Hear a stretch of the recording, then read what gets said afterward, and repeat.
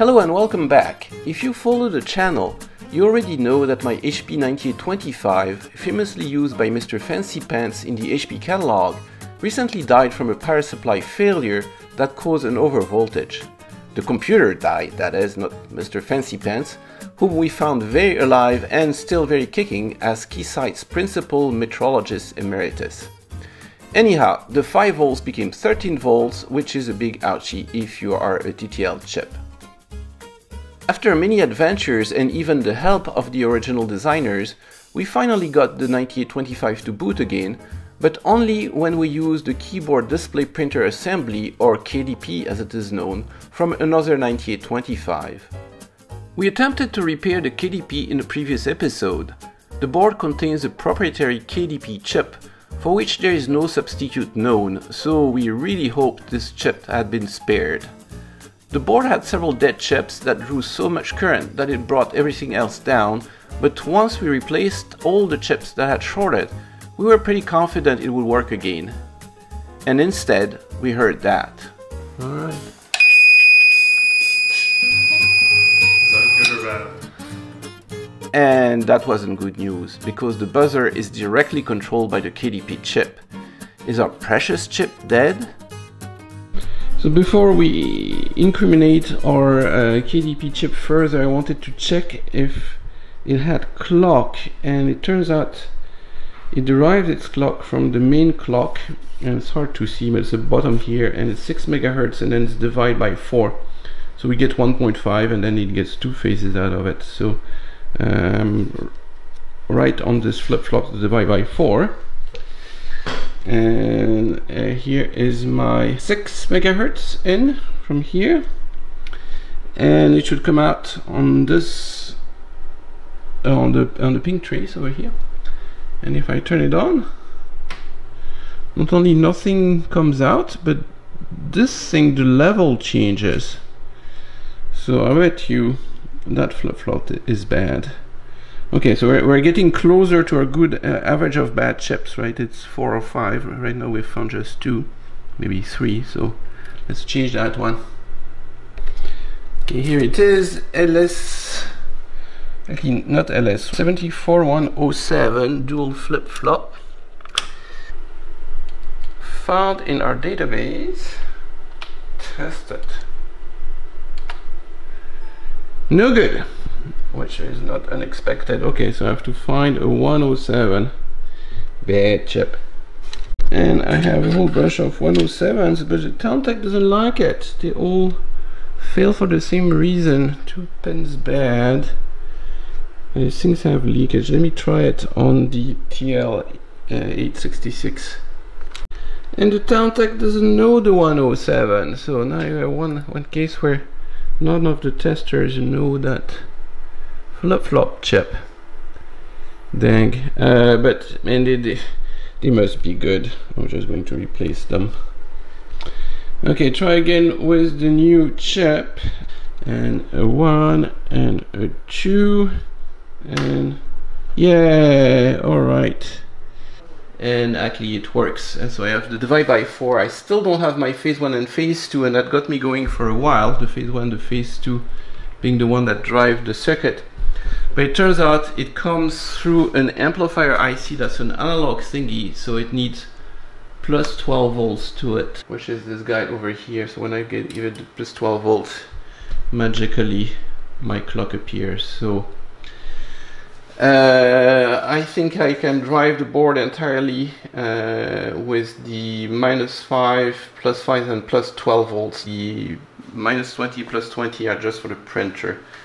And I think with that I should have keyboard scanning. I think the display scanning requires intervention from the processor but the keyboard scanning should go on its own all the time. So let me see. This is plus 5 minus 5 plus 12 and it's spook book oh yeah I see it so I have scanning there we go so we definitely have some scanning happening at different frequencies so that's pretty good so maybe the, the KDP chip is not dead. It's getting warm a little bit, so it's definitely doing something.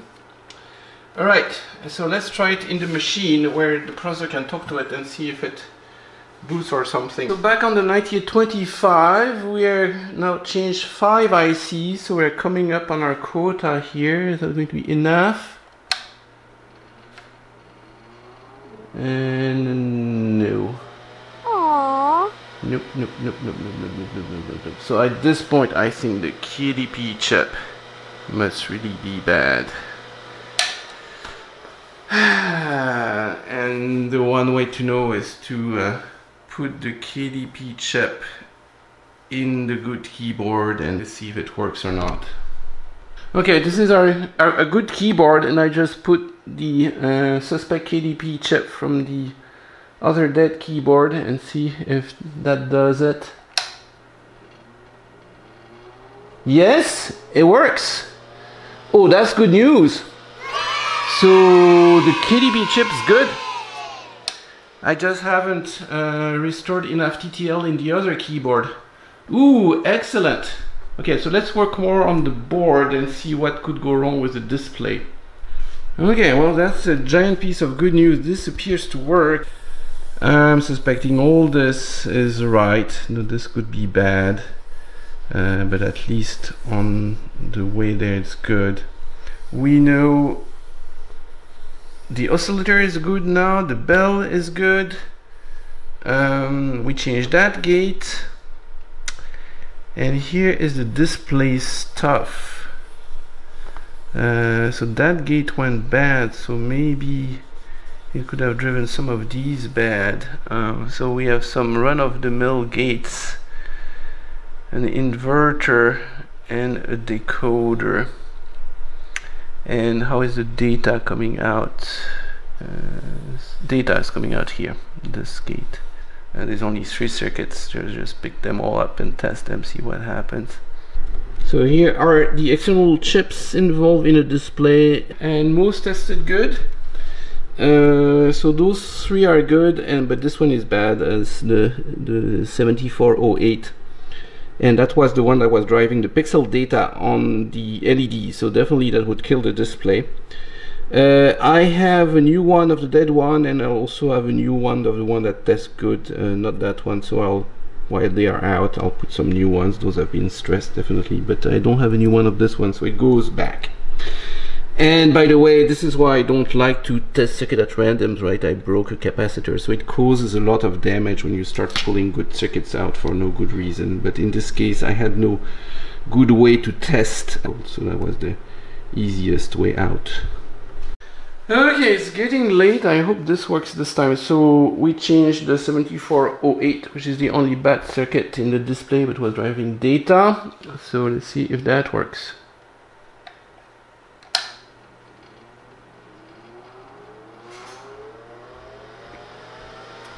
And it does not.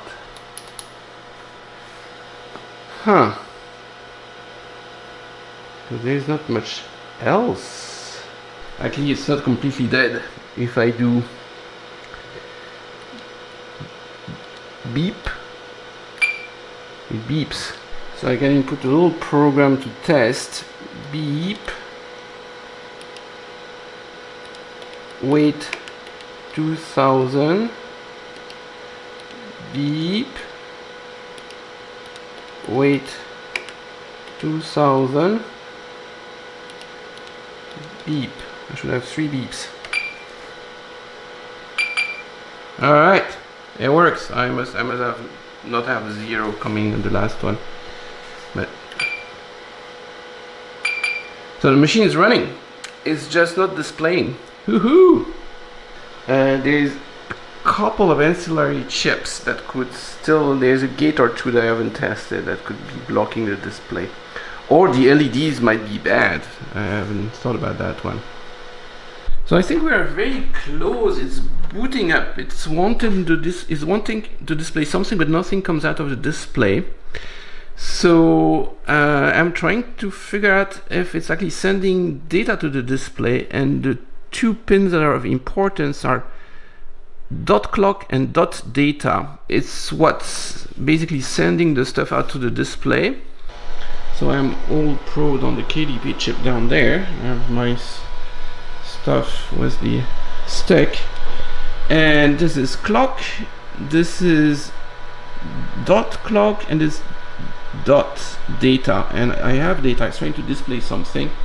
And I'm going to press a few keys on the keyboard and you see the data has changed it's displaying a B now. And then the one more thing that we need to check each digit has five column of dots and it does one it does refresh one column at a time from 0 to its 4 so this should just ripple through.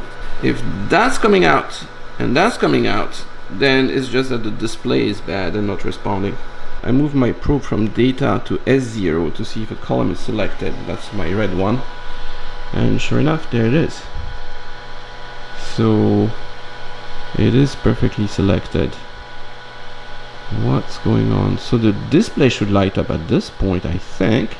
Okay, so maybe it's my display chips that don't work. Or there's a board here that has the little displays and those little displays are uh, are intelligent. You load them dot by dot. Uh, so there's a shift register in there. Maybe that's blown so I've convinced myself that the display should light up, but it doesn't. So I took the uh, display portion from the good display, and it's, it's easy to remove, fortunately. And all it has is a few driver transistors, and uh, the display themselves are the smart ones. They, they uh, you load them with dots uh, in serial fashion, and it arranges them around so it has a shift register in them. So I tested the transistors in the board. They look okay so I think it's, it's the chips. And for that I have to take one chip uh, from the good board. Make sure I make a little test setup to test it see if it works and then I pick a chip from the bad board and confirm that it's dead.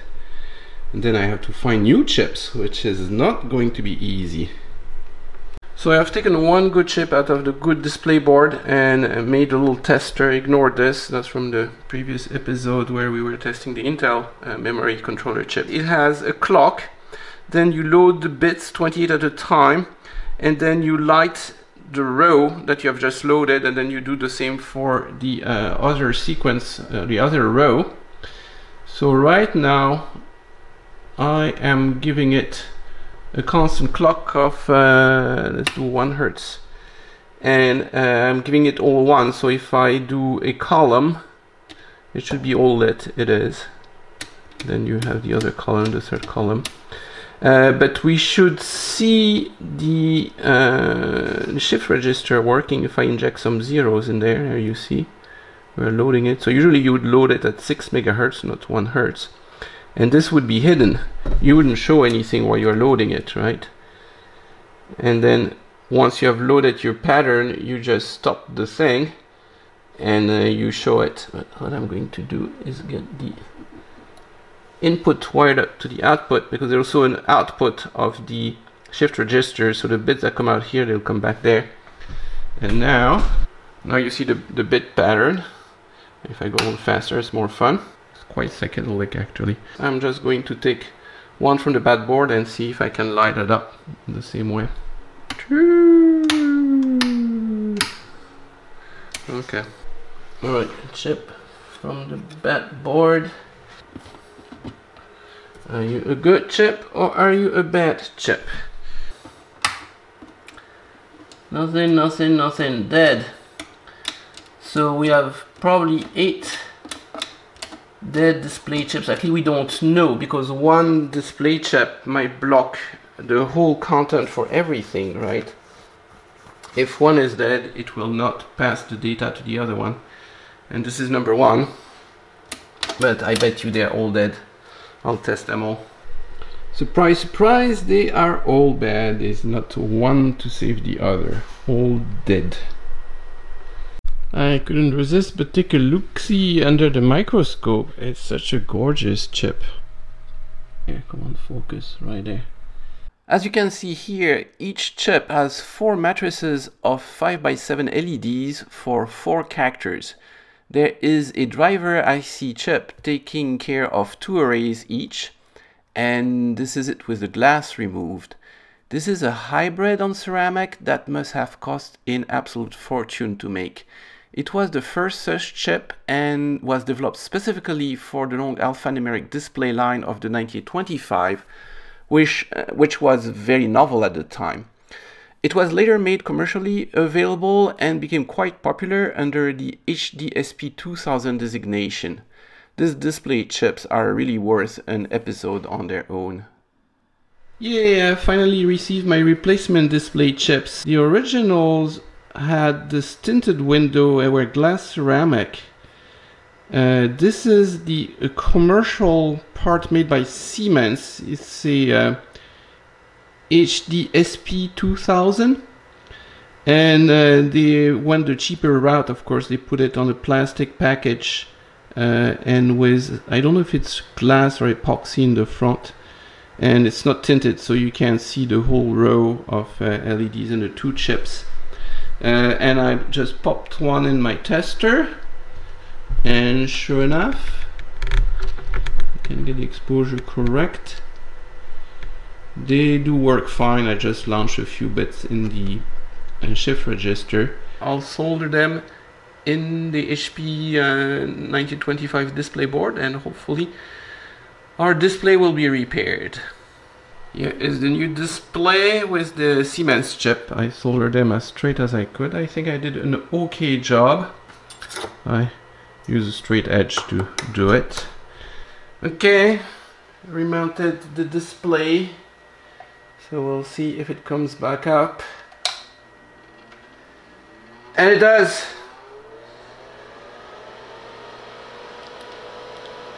it works okay so we repair that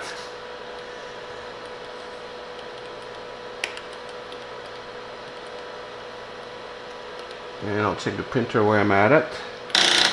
Okay. It works except uh, a column there but that didn't work before so it's as it was before I got it. This column here never works. I don't know why because there's nothing specific to it the, the head moves so it must be something mechanical. But